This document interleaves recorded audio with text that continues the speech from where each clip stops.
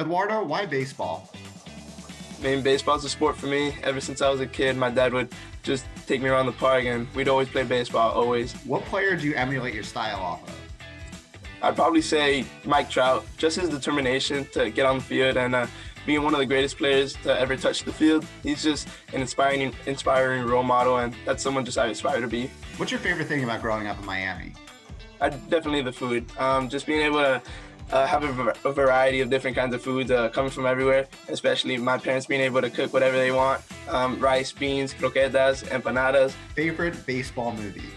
For sure, the Moneyball. Just the amount of undervalued talent coming from different players. It's amazing how they're able to just take these players and put them onto a team and then just make them a competitive team. If there was a movie made about Navy baseball, what actor do you want to play you?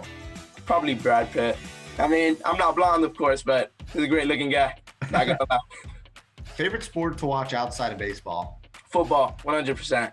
Who's your favorite team to watch? Unfortunately, it's the Miami Dolphins. You know, being from the area, you know, you're just a, you're just a Dolphin fan for life. The NCAA basketball tournament is going on right now. What team do you have winning your bracket?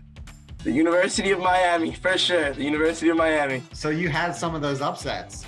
All right, exactly. Yeah, uh, it was pretty exciting to watch. Never gets old just beating beating uh, some of the teams, saying that you're not gonna be able to make it contentious topic. Should the Marlins bring back the mural in center field that lights up? Oh my goodness, most definitely, yes. Uh, every time someone hit a home run, you just see all the fish coming out, and uh, you know everyone's going crazy. I think people just go to the games for that. It was amazing. Hey Eduardo, thanks so much for joining me today. This was the Student Athlete Spotlight.